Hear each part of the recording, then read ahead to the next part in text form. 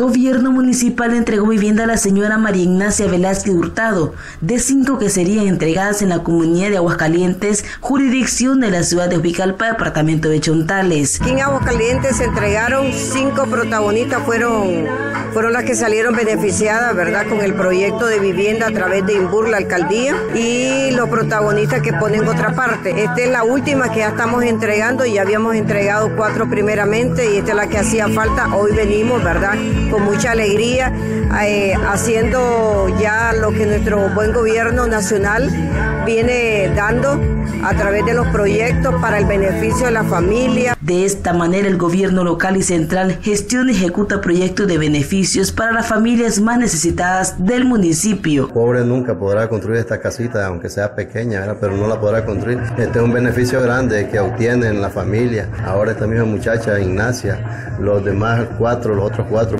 beneficiarios que están más para allá, hoy está dando por culminado esto, ¿verdad? Hoy es la quinta casa que está inaugurada aquí. Las llaves fueron entregadas por la vicealcaldesa de Huicalpa. Con este proyecto continúa restituyendo los derechos a las familias. Feliz y contento porque este es un milagro que yo no me lo esperaba, un milagro hecho realidad por parte de nuestro gobierno, ¿verdad? Que siempre está con nuestro pueblo, con las personas campesinas más que todo, nos miran y no los dejan atrás.